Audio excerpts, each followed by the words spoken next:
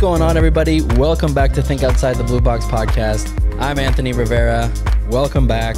This is a new year, a, a new uh, direction for the podcast. Today, I'm actually joined by a very special guest. I'm super excited to get into this conversation. Uh, Miss E. Veal. Uh, welcome to the show, Miss Veal. Uh, thank you so much for joining us. Why don't you tell the audience a little bit about yourself and what, what you kind of do, and we'll, we'll just dive right in. Absolutely. Thanks for having me. First off, I am Evil. I am, I love to call myself a data uh, activist. I am a believer in data and, and the good and the bad that it can do. And so anything that's data specific or driven, I am involved.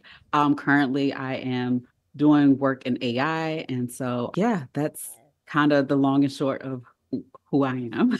Data is they, they call it the new gold rush because mm. instead of you know physical gold now data is is the the commodity so what, what kind of things have you done with data? So I, I work in data and I, I, do a lot of data monitoring right now, but what I am focused on is understanding the integrity and the quality of data, understanding how data is being used, whether it's uh, socially or if you're using it for like I said, good or evil. And I'm very fascinated about the different ways that corporations have decided that they're going to use the data that they've been mining for a while and present it to the world to the users. Yeah, I know. I, heard one of the other podcasts that you've been on, and you were talking about how even social media, when they when they have those facial uh, filters that you know you're basically looking at your phone straight on, and and you were saying that it's kind of like they're collecting that data for facial recognition and and for different things. Why don't you go a little bit into that?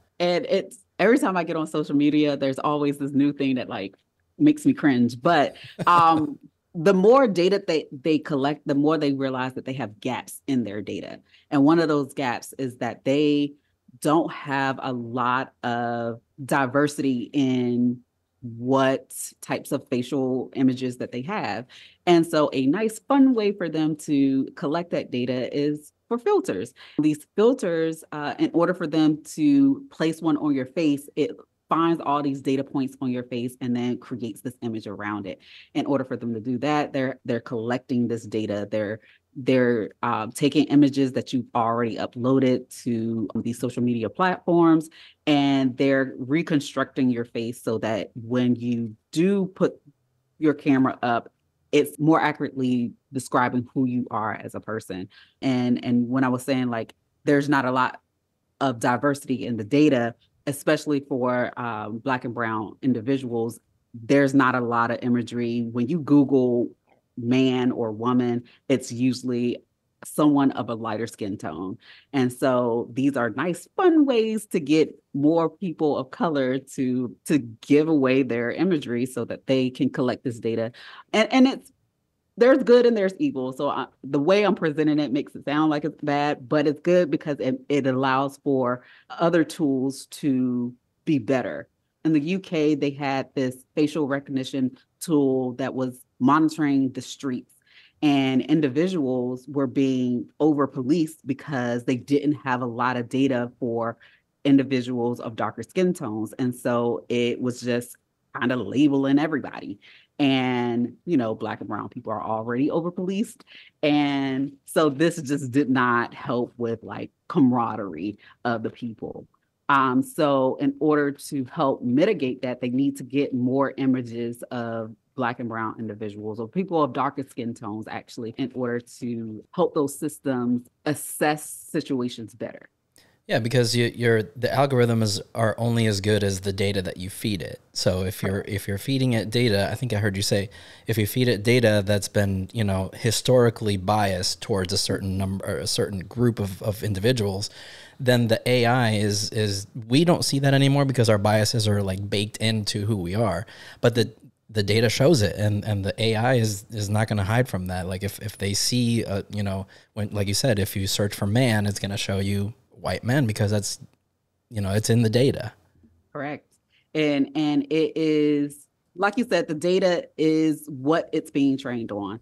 Um, and so you want to make sure that data has integrity and that is quality. So you just can't just throw anything in um, and think that you're going to be able to get like exactly what you're looking for. You can't have blurry in, images in. And so you have to go and sweep through the data in order to make sure that it's exactly what you want your your systems to be trained on. Yeah, so l- let's take it back a little bit.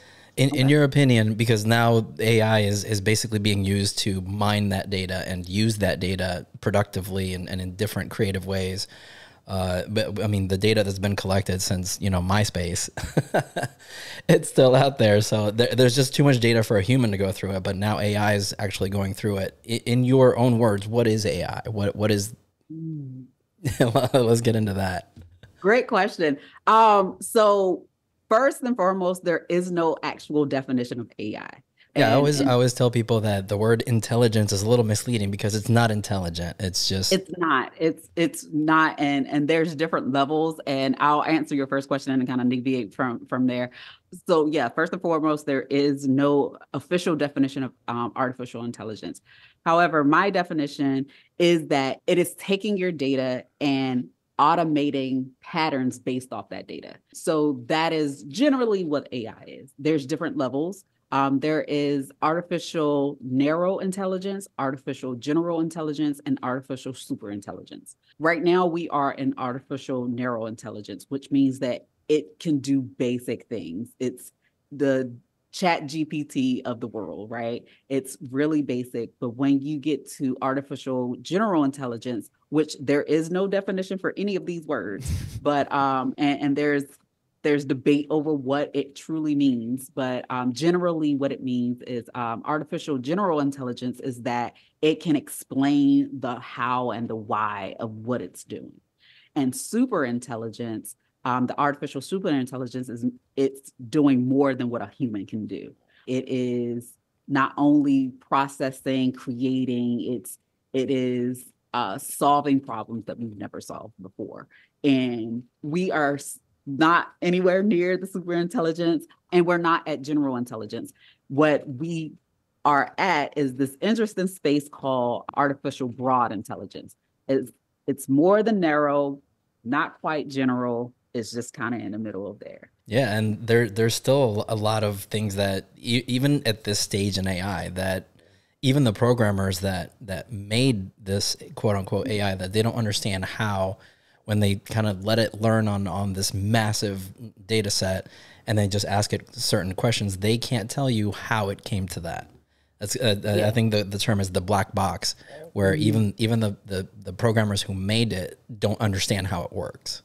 Right, right, absolutely, and it's it's because it's like it's learning from itself. is It's based on neural networks, and neural networks is it was born from the idea of how your brain, your actual brain works, where it kind of connects dots from each other. And um, without like going into the math and the science of it all, it, it basically just takes parts of a concept and breaks it down. It keeps breaking it down to the most minute uh, form and then connecting it to the next part and then connecting it to the next part. And that's basically what our brains um, do. We don't realize it because we it's just such a, a massive and, and, intelligent thing that happens. But it, it's just that we take these small steps of I know what brown is, I know what a person is, I know what a person is. Like you can put these concepts together, and that's basically what happens with these neural networks. And that exactly what you were saying. Like because it's doing all of this the people that's building it don't really understand exactly how it's getting to it and that's what's called explainability. Not understanding the explainability of it all like you said the black box where you can't really say how it made this decision that's a little scary because if it is making decisions on say hiring and you can't explain how they selected this person over these people, then you got a problem. It's more than just like, oh, you just like discriminated. It can be a financial problem. It can be even bigger and exacerbate from there. Yeah, and that's why it's so hard to regulate. It, it's funny to see these uh, politicians try to, you know, try to control and put put the cat back in the box per se, and they, they really can't because they don't understand how it actually works. You know, it, it's just something. It's it's a website that I go to and I just type in it. It doesn't. They don't comprehend how it actually works. I mean, the, even the programmers don't comprehend how it works. So and and I mean, and that is the part that they want to regulate because it's it's scary. It's kind of like it kind of going piggybacking off of what you said, you can't put the cat, cat back in the box. And I know a lot of people are afraid that it's going to become sentient and that we're going to end up in the iRobot or the Terminator. Terminator, yeah, I've heard right. that so many times. and it's like, while that is honestly, it truly is a future, not necessarily a, a near future, but it is a future that could possibly happen. But the long and short of it all is we can't put the cat back in the box. So there's a lot of people that are resistant to AI and it's futile. Like you being resistant doesn't really matter because it's here and we have to we, we have to just adapt to it. When it comes to regulations, there's two there's a lot of sides of this whole thing when it comes to regulations. You, we do want to put boundaries on it because we just don't want the terminators of the world, right? We don't want yeah. that right? But we also don't want to stifle innovation and putting regulations on things stifle that. We can make broader regulations, compliance suggestions, and things like that so that there's a window that you can work within. And, and what I mean by that, for example, is if you're if what you're creating is going to harm someone, you cannot create it. I think that that makes sense. like, yeah. and, and harming someone like in a like killing them type way or if if it does do that it needs to have a kill switch like a manual kill switch and i think that those are regulations that we should probably have. I agree. Um, but when people think regulations they're thinking something like it has to be like this and put it in and and that stifles the innovation of it all. And even if the US were to put those regulations, who's to say that another country doesn't have those regulations and they will do the same thing. One of the things that I, I did read recently is that currently, um, I, I, believe it's NVIDIA, they have like the best uh, GPU processing um, chip. And it has been, they, they have been forbidden to sell it to China. And it's just like, okay, I like I get it, but it just makes them want to build this this processing chip. All they have to do is re-engineer, like reverse engineer this processing chip. But it does slow down the process of like what they can do in their country, whatever it is that they're planning to do. But it is interesting that it's like what the regulations are and what they're going to be. It's it's been a journey. Yeah, I mean, and it's been like that with any new technology, right? Like even the internet, people were freaking out about it because it, yep. you know it's gonna, you know, everybody has this Hollywood idea of what you know. We're we're I always say the human race is very very uh, short sighted. We we can't look past a certain you know a certain time. Uh, we're we're very kind of embedded in our own society in, in a sense, and we, we can't look past our immediate future uh, if you go back and watch some of the, the videos of when the internet first came out, they didn't call it the internet; they just called it the internet, and it, it was this this this abstract concept that people really didn't know how to explain to you. I think we're going through that again. Yeah. Uh, and, and with any revolution, the smartphone revolution, when people you know originally rejected it, said, "Why do I need that? You know, I have a computer." But now it's like you can't live without it. Correct. So it's like I think we're going through another revolution. People are even comparing it to like the invention of fire, not the invention, but the discovery of fire yeah. for the human race. Like it's going to ex- ex- exponentially evolve us in ways that we we currently don't understand. Absolutely, that's exactly what's happening. We're we're seeing the the precipice of the uh, of AI, and historically, all we've ever heard about AI was it's the doom of society, right? And so, of course, exactly what you're saying, they can't see past what it can do and only have this image of what what Hollywood has has presented. It's it's kind of like people being shocked that like Kenya and Africa like has all this like technology because you only know what you've been presented on the uh, on on TV. But but just like the like you said, the smartphone, like the iPhone, the first iPhone that came out was revolutionary. It was insane. Like the touch, the eye, like touching a screen, like doing that was revolutionary. But if we were to go back today and look at that phone, we were like, what is this trash? Yeah. what were we thinking? Why was this? Why was this big stuff? Like, why was this it? And that's exactly what's going to happen here. Like we are kind of freaking out about ChatGPT and it's the new, you know, the new hotness or whatever. But we're going to look back in 15 years and be like, why did we ever think that this was technology. right? Yeah, I have a feeling like in 10 years we're going to look back to today and be like, why were we so afraid of it? Like why why, why were people so resistive? Like it, it's helped so many things and so many developments and research. There's there's a few things I want to get your your take on this. There's mm-hmm. it, it's a phenomenon called hallucinations and mm-hmm. it's it's unintended consequences of the AI that we built because we don't understand it we, we kind of put it out there into the world. OpenAI is one of the biggest companies now, almost bigger than Google.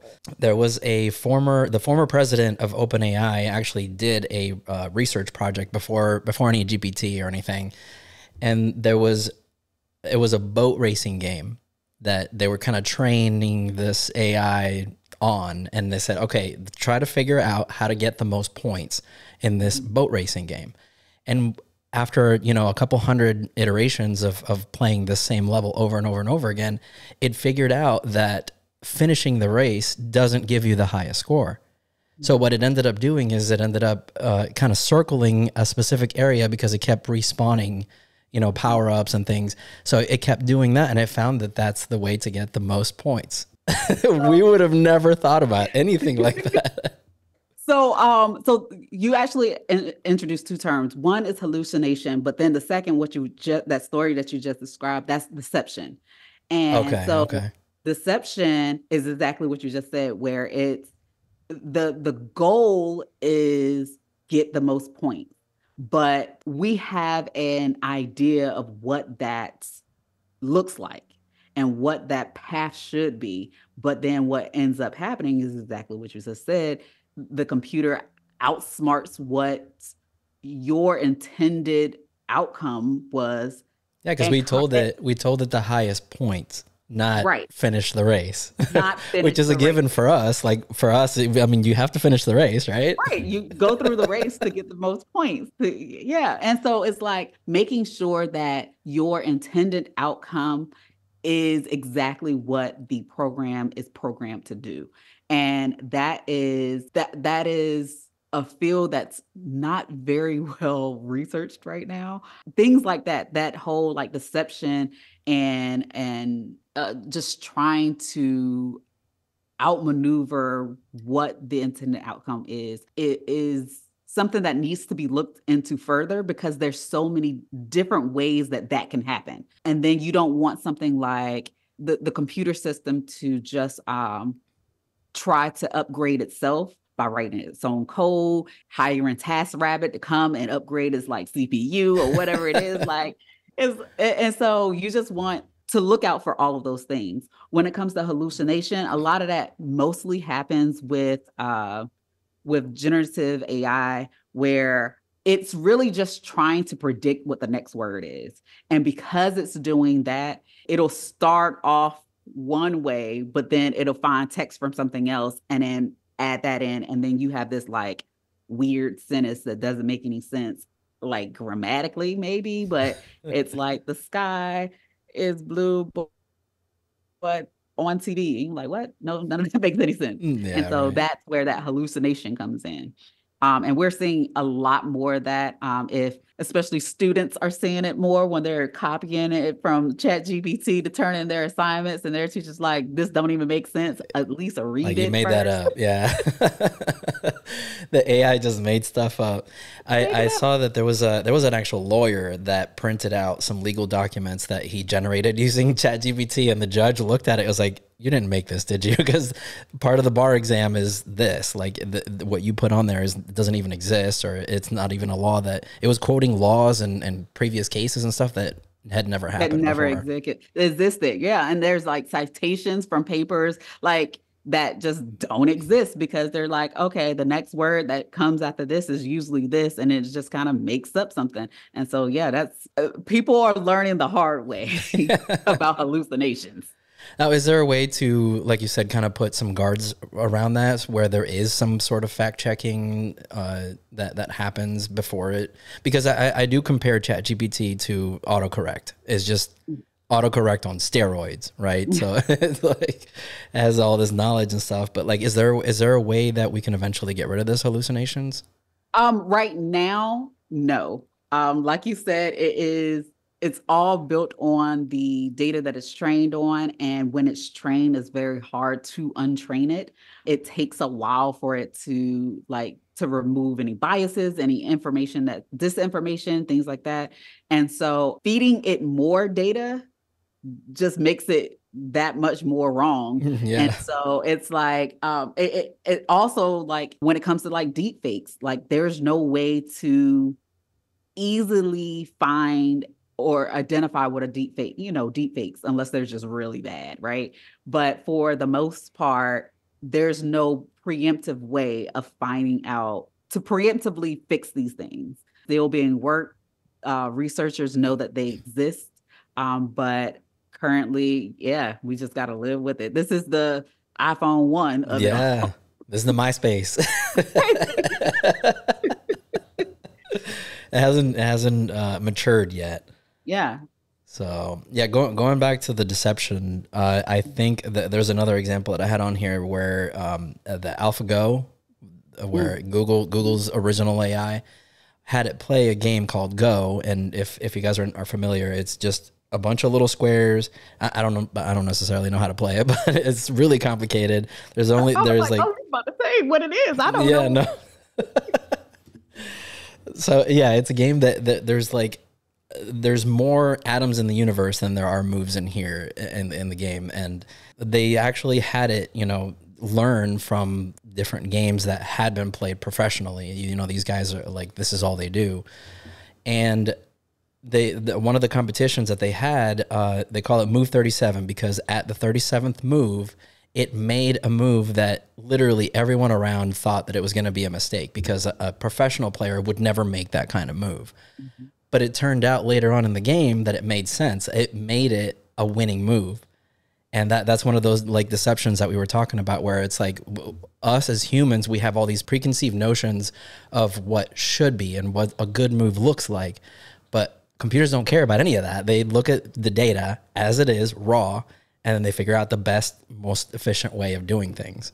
Absolutely. You're absolutely right. Yep. That is a perfect example of like it's not necessarily being smarter than a human it's just doing something that a human would have never done. It, it is it is just taking a path that we haven't taken before. It's in situations like that that opens our mind to other uh, opportunities uh, other outlets in, in which we can solve problems and other ways that ai could be useful and so it's it's in that context when researchers or scientists or whatever they need to process something hundreds of thousands of times they'll use ai to simulate what those processes would look like so that they can narrow it down to whatever it is that they need instead of having to do something 15 million times you only have to do it 50 times. And i think that that is one of the great things about ai yeah because it, it it gets us out of our own heads, right? Like yeah. if you get a group of 100 researchers, they're all going to have that bias. They're all going to think that same way, but an AI is not. it's just looking yeah. at it from a fresh point of view. Yeah, and and like you said, it's it is the historical bias is that group think it is everyone we not realizing that because somebody told us a long time ago that that wouldn't work we're never going to try it again i it's kind of like when i was a kid i hated strawberries and I hated peaches and I couldn't remember why. And I was like, try it one day. And I tried, I was like, what have I been doing my entire life? Not eating these things. And it's like, it's just stepping outside the box. Huh? And uh, I love it. stepping outside the box and like, and just trying something else because figuring out what the intended outcome is and and going and, and trying to solve for that. So it, it's helped so many different industries. I, I saw that uh, there was a lot of uh, medical uses for it because, you know, uh, especially like folding proteins and things like that, where it's taken us so long because it's a really, really complicated problem, but computers can do it in an instant.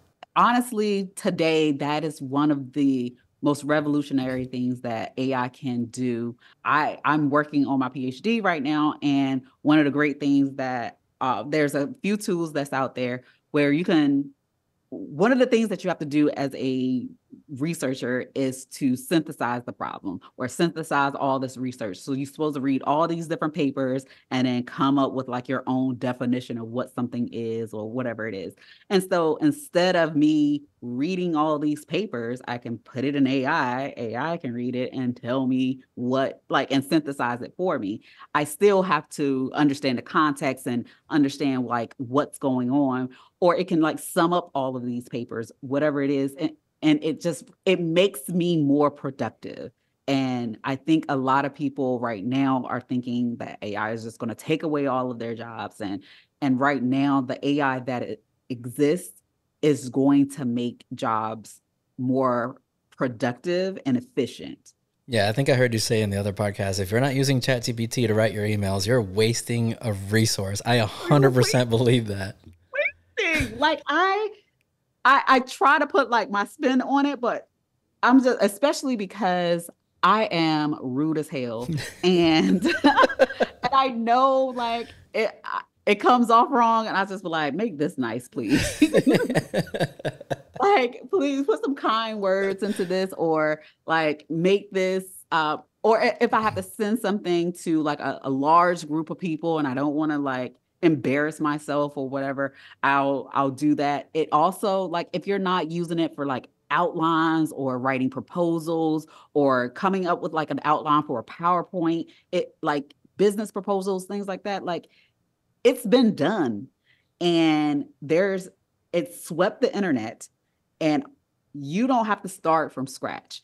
And and that's basically what I'm saying. I'm not saying like use it as is. I'm I'm saying use it as a starting point. As a tool. Um, yeah. As a tool. It's so many things that already exist. Someone's already been there, done that. If you're going on a trip and you are like, I'm going to Greece and I need to for five days, what should I do? Give me an itinerary. Itinerary with a budget of five hundred dollars. I don't know where you're going to Greece for five hundred dollars, but I'm just Yeah, no, it'll help you. Yeah, yeah, and I, I actually use it a lot. I, I, I tell people I don't think a piece of tech has ever taken over my life so quickly than AI. I I have been immersed in AI for so long. Like I thought that I was it was going to be a fleeting like thing, and I was like, eh, once I learn about what it is, I'm not going to want to know anymore. But there's so many different avenues that you can dive into. And that's what the problem is now, where I'm just like, oh, shiny thing. Oh, yeah. shiny thing. Oh, oh, I want to read about this. And I end up like in these deep, deep holes. like, and I'm I have to tell myself, you have to eat now. Stop. Yeah. It's like it's uh, I picture it kind of like that Dave Chappelle crackhead meme where he's like, oh. "Give me, give me some more of that AI. Give me." exactly. Every new oh, version of ChatGPT, I'm like, okay, what what can you do? What can I do with it? It's it's insane. Like I feel myself getting excited when a new person I talk to is like, "Oh, I want to know more." I'm like, "Oh, God. yes, oh, me too." I want to tell you. I want to tell you, and I'm just like, "Okay, calm down, calm down." yeah, because so. you know, like you've used it, you're immersed in it. There's a lot of people that reject it, and that that's that's yeah, the- and it, it it's definitely an opportunity to educate people and to to take away any fears that they have and to show how like it's positive. And so that's one of the, I am a naturally like negative person and I like the negative side of things. And so if I talk negatively, that's because that's where I live. you need um, ChatGPT for that. right. That's where I live. But um, I try to find the positive things because I know I know more about AI than most people that I'm around. And if I'm going to have these conversations with people, I can't scare them. I have to make sure that they understand where the where this technology is going, how it's beneficial for them right now, and and just to ease the like the angst of it all because it if your only introduction to AI is Terminator, is The Matrix, is like iRobot or whatever these like shows are, then of course you're going to be terrified. Of course you're going to be like, I don't like it's going to be a dystopia tomorrow. Mm-hmm. And and so yeah, just making sure that I'm a resource for people for the good and the bad. Yeah, you can show them the power of it, how you can use it as a tool. Because a lot of people think it's going to replace jobs, but I think it's going to enhance jobs. Yeah, like coding.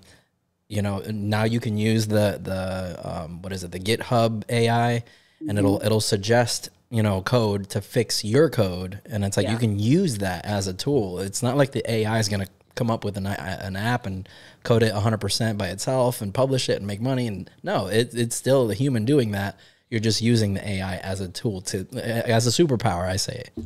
Yeah, and and I think the today one of the smart parts of using AI to enhance is what is it that you bring to the table like and, it helps to bring that part out of it uh, out of you because if you think that this system can just code then what else are you bringing what what knowledge do you have that this ai can't replace and um, I don't think that AI is going to replace our programmers because there are things, um, proprietary things that you just can't throw into AI and or into these like co-pilot machines or whatever. Mm-hmm.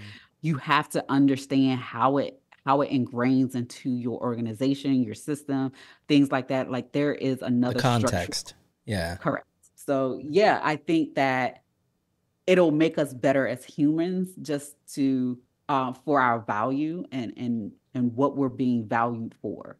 Today's episode is proudly presented by Audible. Whether you're on a quest to broaden your horizons or eagerly searching for your next captivating summer read, Audible has the world's most extensive collection of audiobooks and podcasts. For a limited time, we invite you to sign up for a 30-day complimentary trial, which includes a free audiobook that's yours to keep, even if you choose not to continue with the subscription. Visit audible.blueboxdigital.com or scan the QR code on your screen to start listening today. We also now offer subscriptions with perks. You can get these episodes without ads, behind the scenes, private live streams, and so much more. Head over to support.blueboxdigital.com or scan the QR code on the screen to sign up. Help the show grow and become part of the Blue Box family. Thanks in advance for your support. Now back to the show. And now, now that we've talked about the good parts of AI, let's let's switch gears and talk about the bad things that AI does, because I, I know that this is a this is a research uh, a topic for you um, the biases that are in the data that are being fed into these AIs. One of the uh, examples that I kind of got with uh, Amazon in 2014 actually tried to use it for their hiring process. And almost immediately they had to stop because they started to notice that it was only hiring men. Mm-hmm. It was only hiring white men. Mm. It was only, you, you, see what I'm saying? So it's like it looked at the history of Amazon uh, uh hiring and their HR database and everything.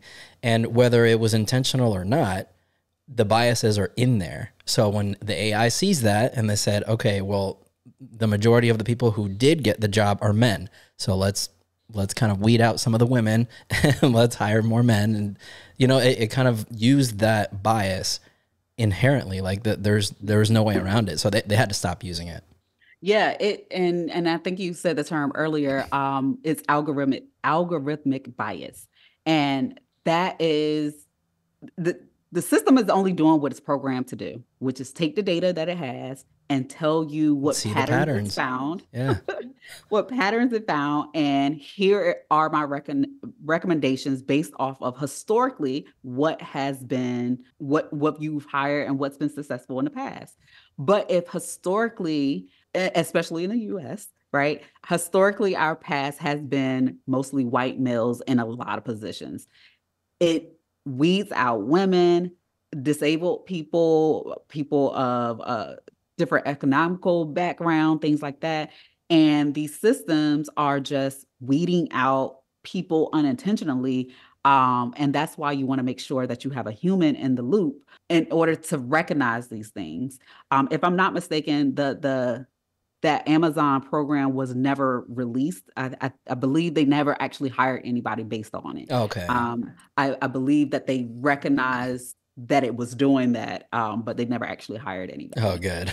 And right, but it's understanding like that that is a smart tool. However, you it doesn't have the data in order to make it a a useful tool right? And so there's lots of bias in in the data. And so kind of like we were talking about at the very beginning facial recognition there's not a lot of uh images. Like even if you're looking for like photos of hands hands holding things you don't see people of color holding things. And it's just like you don't recognize how little or how how much the majority is is white until um, until the AI spits it right back in your face and says right back out at you. You're just kind of like, oh, like, okay. Oh, so there is bias. all right, all right. So and and it was a it was a big thing with Google um a while back. So a lot of people don't realize that like AI has been around for a long, long time.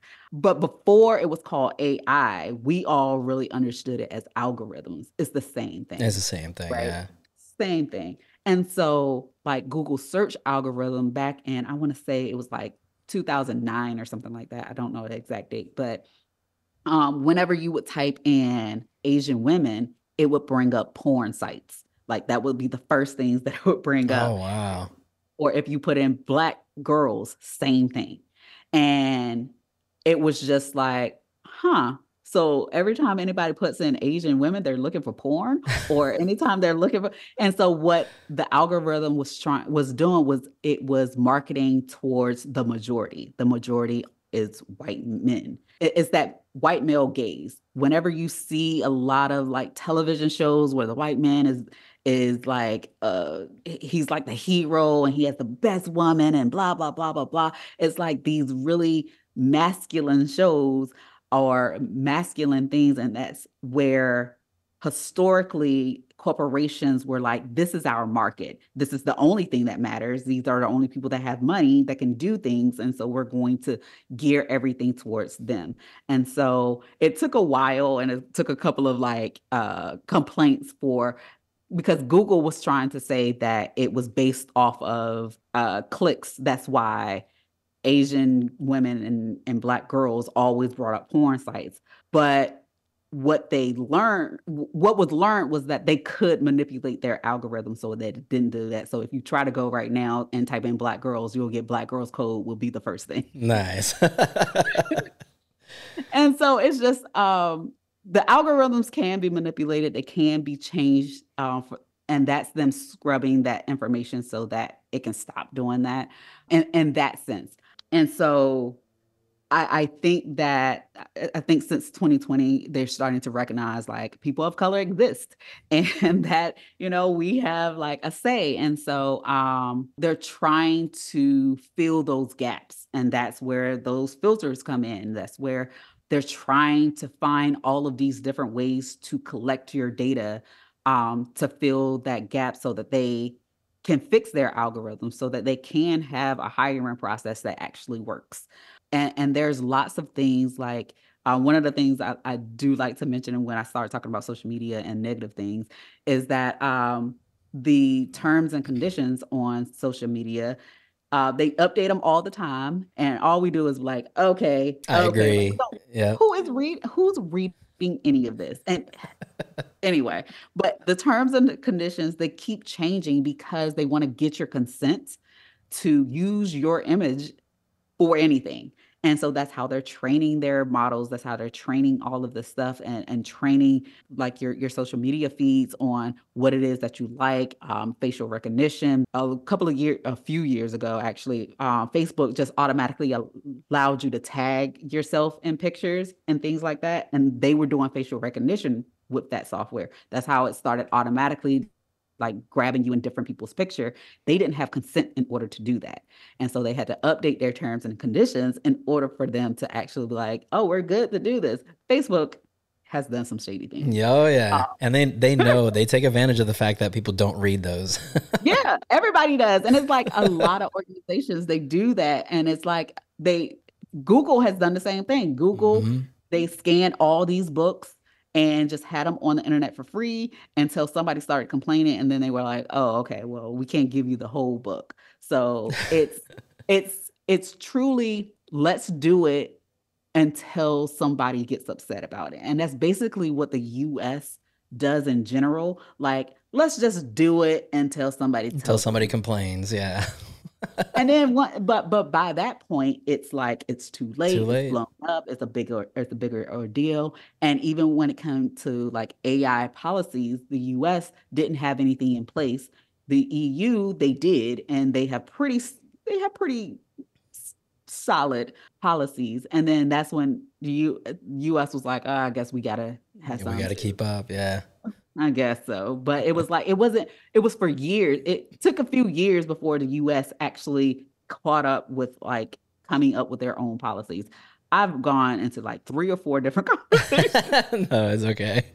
Okay. They kind of, I, I think, in my opinion, I think they kind of have to do that because the, the, the, like the AI when when ChatGPT was first released, people were making malware with it and and like they were doing malicious things with it. But because there is such a black box on this AI, people don't really know how it works. You kind of just have to let it out, have people play with it, try it, do these things, so that then they can go back and and do.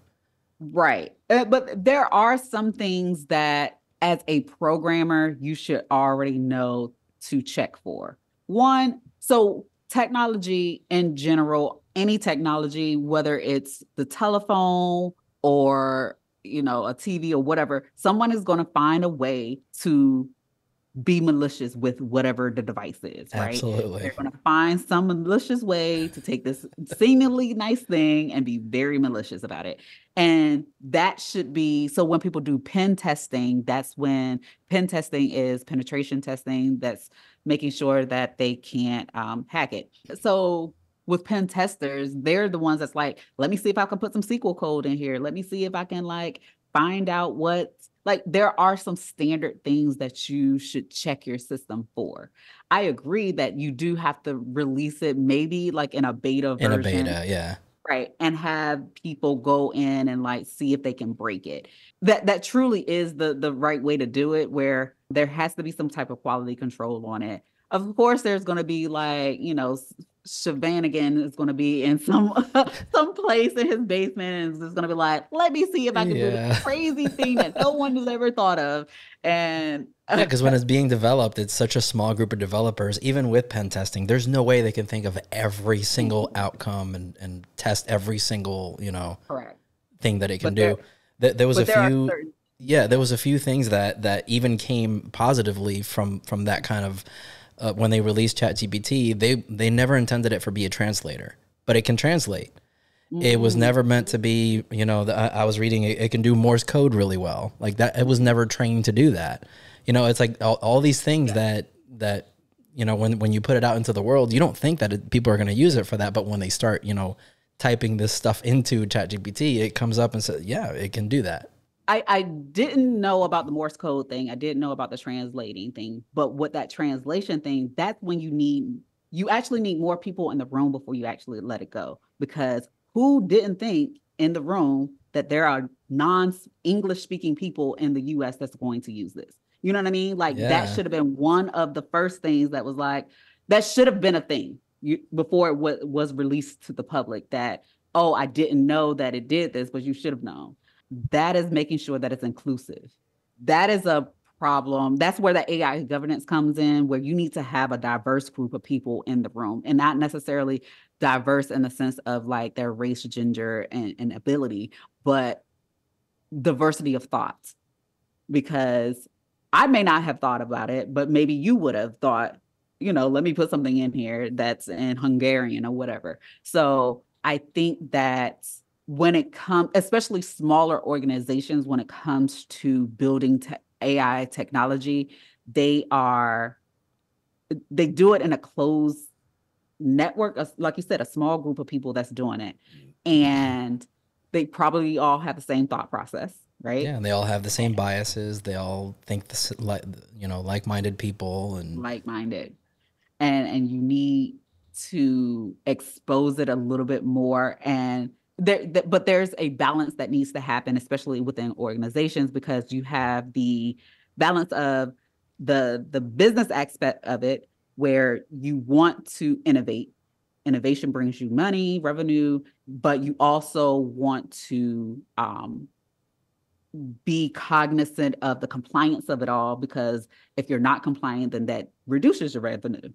And so there are a lot of organizations that's more willing to like we were saying earlier let's just put it out there. Let's just like and and then we'll if we get hand slapped we get mm-hmm. hand slapped right? And when so, people start to complain like hey is doing this then we'll go in there and fix it. And then we'll do something about it right? And then we'll build a whole network when that compliance and, and the governance should happen when you think, oh, we should do something AI, let's get a team of people together so that they are all thinking about this thing from their different perspectives um, and bringing something to the table. Yeah, and, and going going with that, uh, I watched a documentary. I think you you kind of uh, alluded to it also, the uh, Coded Bias. Ah, I yeah. absolutely adore that documentary. it was so good. And when uh, I don't know if you want to kind of tell the story of the the, the white mask Oh yeah. Word. So um for those that don't know, Coded Bias is on Netflix. It's a fantastic show. Um and it was actually like at Sundance and Sundance uh, Netflix bought it from Sundance. But anyway, it was a small budget film and there's a student, Dr. Joy. I don't know how to say her last name correctly. It's like Bulla Mini. Um but I'm gonna call her Dr. Dr. Joy. Dr. Joy is good. So, uh, Dr. Joy, she was just doing her research and she wanted to make a mirror that would put filters on her face. And so she was like, all right, let me just do this. She knew how to like code and all of that stuff. And she's done a like some AI stuff before. And so when she went to use this facial recognition software, um, the software didn't recognize her face and she was like oh this is interesting the last other software that i used like an undergrad didn't recognize my face either and she what? is a, she is a woman of color just so she is a woman of color thank you for saying yeah. that part she is a black woman she has a darker skin tone right and so she was just like oh it's not working this software that i'm using now is not recognizing me. The one before uh, didn't recognize me. And so she had one of her um, fair skinned friends come and like test the software to see like if it was broken and it worked. They recognized and her right so away. she was like, okay. she was like, oh, well, maybe it's fixed now. Like, and so she put her face in front of it and it still didn't work. So then she had this white mask because she had just come from a holiday. She was going to a Halloween party, and so she got this white mask and put it in front of the um the the device, and it recognized the the the mask before it recognized her. Wow. And so that's when she realized that the data that these uh, that the the model that she was using to for facial recognition had bias in it where all the data that it was trained on was white male had had fair skinned individuals. It was also mostly males that it was trained on. And so there was bias in in the um the software. So she she did go on to do uh research and to see what the other systems that were out there, what they were using and how accurate it was it was being. And she had to create her own data set, label like if this was a dark skinned male, light skinned woman, whatever it was. And so she made her own data set and so that she knew what was going into the system. And she realized that all of these big name companies had terrible software. And she put them all next to each other. And she went to like these big giant conferences. It was like, these are trash. You should not use them. Of course, she ain't say it like that, but yeah, right? and she's just like, they're really bad. Uh, and there were government systems that were using this facial recognition software, policing, and yeah, security, like security cameras that have facial recognition in them, and yeah, and it was they stopped using the system because of her research, but it made some organizations that she named was like, we need to do better.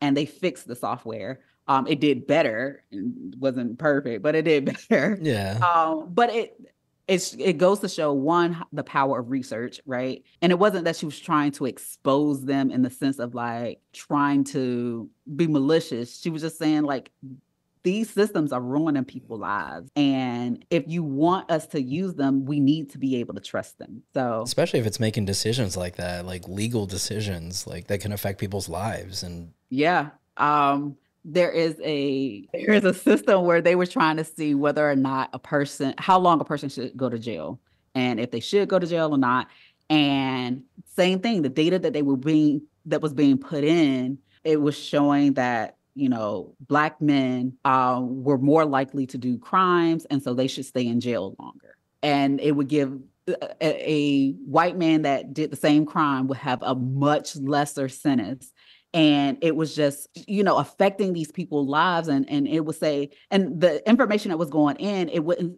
they weren't collecting their their race or their gender but it was collecting like where they lived and uh, one of the questions that it asked was, How many people do you know have gone to jail or have been arrested and things like that? And more Black men had people that they knew that went to jail and were in like in these negative si- situations. And so if they were judged harsher than other people. And so it's in ProPublica. So it's an article in ProPublica if you want to read it. Yeah, I'll link um, it. I'll link it down in the description. So if so, you want to read I don't it, know yeah. how I got here, but about coded bias, and I started talking about yes, jail. and that kind of leads us into your research because your your research that you're doing for your doctorates is in data diversity, and and I'm glad that somebody has this in mind, right? Like we're not we're not just releasing it to the public and leaving it as is. Somebody's actually you know figuring right. out what it needs is, to be fixed. It, it, it's very important, and it's you would think that more people were looking into it, and when you, you think, think about the scale of like how much research is being done, how much technology is being put out there, the the percentage of who's governing these systems, who who cares about the ethics uh, around them, it's so low. It's so low. It's it's to the point where you can probably name everybody that's in that field and I'm just happy to be like one of those people and just being on the precipice of like getting this this work done. So yeah, and I, I think you mentioned in the in the other podcast that uh, you're you're kind of glad that it's women in at the mm. helm and especially women of color at the helm because you know that that's who's mainly being affected by the, these kind of biases. 100%. There are a lot of women of color um, women that's in this field that's looking into algorithmic bias, data diversity, AI governance, and, and just caring about what these systems are doing to the people. And, and this is a very generalized, broad statement, but it's my statement and my statement alone, where I think that it's the, the women are, they care about the human in us and they, they're, they're not opposed to the technology at all. They want the technology to be out there. It's just that we want the technology to exist with humans. And In order for that to happen, we have to think about what is going into these systems. And and the first introduction to all of this was um, I read uh, Weapons of Math Destruction. I just reread it because I was like, I knew it was the book that got me into it, and I was like, but why? Because usually when I read a book, I forget about what the book was about 30 seconds after I finished reading it. I couldn't tell you anything about it. But I reread it and I was like, oh yeah. This is very interesting because she she gave a lot of examples about how the data was being manipulated, how it was being it, it was being opaque and you couldn't see what these systems were doing in order to make these decisions. Back to what you're saying, the black box, right? And and trying to be a little bit more transparent about how we're making these decisions that are affecting people's lives. The, one of the first examples she gives in the book is um, about a teacher, like these teachers were being evaluated, and this uh, algorithm was saying whether or not teachers uh, were doing well in their field. And this one teacher who had had been like teacher of the year for like three, four years in a row had a poor evaluation. And when they asked like, how was I evaluated? You know, what, how did you get to this um, conclusion? They were met with, it's proprietary information. We can't tell you. And so that's actually one of the like bigger issues now because like we have the Googles, the Open AIs, the Microsofts of the world, these really big, big organizations that we now rely on Google more than anything, right? To like look up things. And it, it, it seemingly seems like the only like search engine, right? But it, it truly isn't. It's not a mon- monopoly, but they have so much power because they have uh, all of our data. They have so much data of ours. So much. And all of the things they do is proprietary because they're a company. And all they have to say to the government is it's proprietary information. It's intellectual property. We we don't have to give you this because it's our property. We can't we don't want to reveal how we came up with this conclusion because now we're opening ourselves up to like competitors um, taking over, you know, our technology mm-hmm. and things like that. So that's what we're running into right now, the the legal part of it where the AI is being built by these companies that do not have to answer to the government. And the things that they do are proprietary. It's just amazing what what what comes out of the whole thing like eh, or where we're going to go. Yeah. Like where are we going to go? Like especially knowing that they're too powerful period. They're just too yeah powerful. and they can control the ai you know they can build in these things that we would never know. That i think that's why open ai started as an open that's why open is in their name. Although they've kind of closed up a little bit now that money's starting to roll in so money talks. Yeah and, so now it's and, a little bit more proprietary than it, it, used to be but that that's the whole reason why i started as an open platform is so people can 100%. more transparency and exactly. And now that, you know, Microsoft has given it billions of dollars and it's kind of like they still are two different entities. Mm-hmm. They're still two different things that uh, they make their own decisions. But I, I believe in their contract, it says that once they hit artificial general intelligence, then they have to uh, renegotiate the contract. Oh, wow. But like I said, no one knows what that actually means. Yeah. Well, thank you, Evil, for for coming on and talking about the one of the most interesting topics nowadays. I could talk to you all day. Absolutely, I could do this all day. Oh yeah, absolutely. Let, us leave us with a couple of resources. I know you said the Weapons of Math Destruction uh, mm-hmm. book. Uh, I'm gonna read that uh, the uh, Coded Bias documentary on Netflix. Uh, where, where else can people go and, and find more? Oh, great questions. Um, there's lots of books. So Dr. Joy, she has a book. It's called Unmasking AI.